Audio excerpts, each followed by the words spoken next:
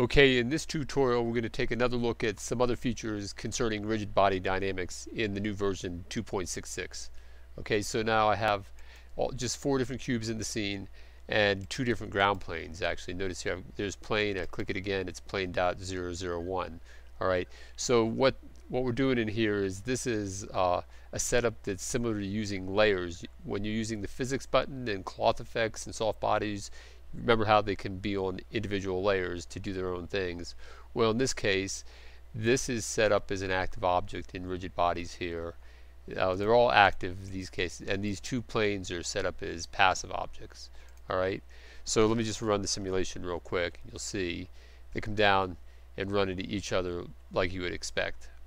Okay. However, if I was to move these over here like this, move this to this side, and move this one on top of this and run it again notice this orange cube doesn't do anything even though it's a rigid body and yet even though it bounces off the plane well what it's doing is it's bouncing off its own plane and it's bouncing off its own plane but these guys are essentially on separate layers but they're not layers let's go over here what they are is in this case collision groups. It, the second you look at it, it'll become obvious unless you're not familiar with it.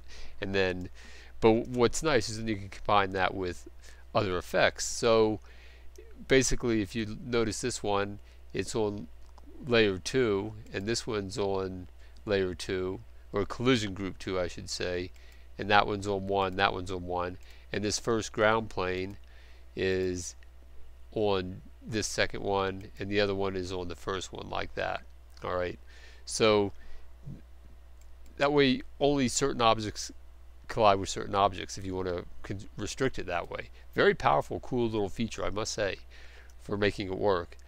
So there's yeah it collides with that but it won't collide with that one there okay? So that's really straightforward. And then of course then you want to try and mix in, you know, something. Maybe we'll put some wind in here. Let's let's just add a wind object.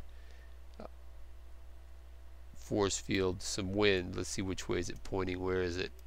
Oh, it's pointing down. Let's rotate it on, uh, global axis. So we'll rotate it on X like this here, and come over here to the wind and give it a little bit of strength. Let's just see what happens when we run it. Uh, that's not enough strength to really tell. Let's really crank it up.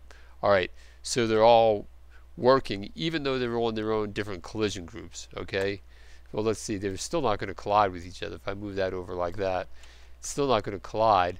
But yet the wind affects it differently. So if you want to have a separate wind affecting the different groups, you're also going to have to say Shift D X. I'll make a separate wind object here. I'll press U to make it its own entity like that and more importantly I'll press M and move it over into layer 2 okay?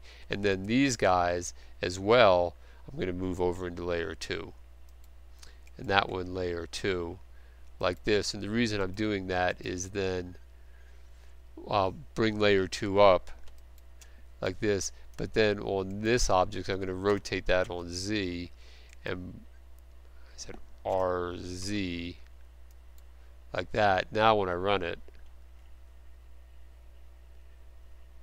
we go full screen so you can see it a little bit better.